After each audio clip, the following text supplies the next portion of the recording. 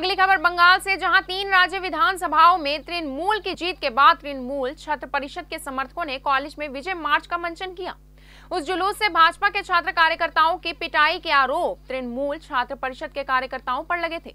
जहाँ घटना में एक युवक घायल हो गया था, उसमें से एक को बंगा अनुमंडल अस्पताल में भर्ती करवाया गया है। पीड़ित का नाम प्रभास मलाकार है। यह घटना गुरुवार दोपहर गोपाल नगर में नाहटा योगेंद्र नाथ मेमोरियल कॉलेज परिसर में हुई। কলেজে ঢুকছিলাম। আমার ওই বন্ধুটা ছিল ওকে নিয়ে আমি বাড়ি আসব ঠিক আছে? তখন ঢুকছি আমি কলেজে।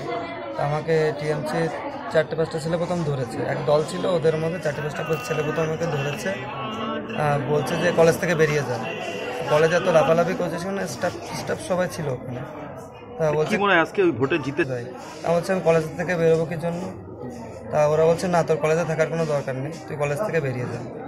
আমি সাথে আমার ভিতরে যেতে হবে বন্ধুরা রয়েছে ওকে নিয়ে আমি বাইরে চাউনি তাই মেরেছে। বলছি কি নাম তোমার? প্রভাস মালাকার। কি জন্য মারলো তোমার এবার বেরিয়েছে এবার বেরোনোর পরে আমি যখন আহ, ঢুকি কলেজের মধ্যে গেটের ওখানটায় তা পিছন থেকে একটা ছেলে আমাকে বলছে নাম হচ্ছে দীপ। ও বলছে কি এই ছেলেটা বেশি বোঝে একে মেরে দেবো।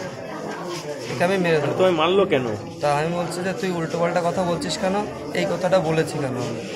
আমার এই সাইডে ঘুষি মারলো দুটো আর এই সাইডটায় কান জড়িয়ে মানে আজকে তোমার পরে আক্রমণ হলো? হ্যাঁ। আমাদের কলেজ থেকে বের করে দিয়েছে। ওরা জিতেছে আমরা কলেজে ঢুকতে পারব না আর কি। বিজেপির কোনো ছেলেগুলো কলেজে আর কি ঢুকতে পারবে না।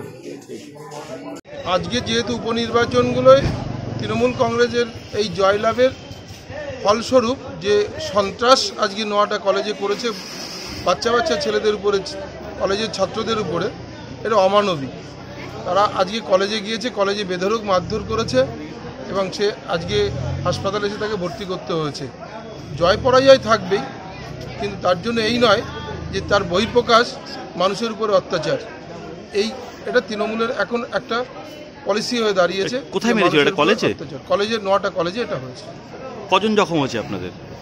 পাঁচ সাতজনের খুবই লেগেছে। প্রাথমিক চিকিৎসার পরে তাদেরকে ছেড়ে দেওয়া হয়েছে এবং একে ইনজুরিটা এত মারাত্মক যে লোকাল হাসপাতাল থেকে ট্রান্সফার করে বনগাঁ মহকুমা হাসপাতালে এখন ভর্তি করতে হয়েছে আমাদের। আপনি দেখতে এসেছিলেন সবাই মিলে দেখতে এসেছি ওর চিকিৎসার ভালো ব্যবস্থা যাতে হয় এবং আমরা পাশে রয়েছি। ও সুস্থ করে ওকে বাড়ি পৌঁছে দেওয়ার একটা নৈতিক দায়িত্বের মধ্যে রয়েছে আমাদের।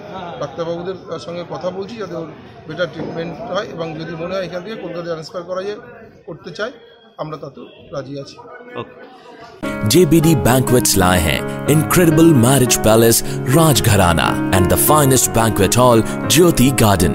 World class catering, centrally air conditioned, lush green lawns, state of the art lighting. A perfect venue for wedding, launching and parties. Rajgharana and Jyoti Garden at JBD Banquets Enterprise.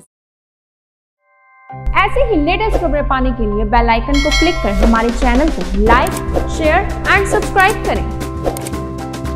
धन्यवाद।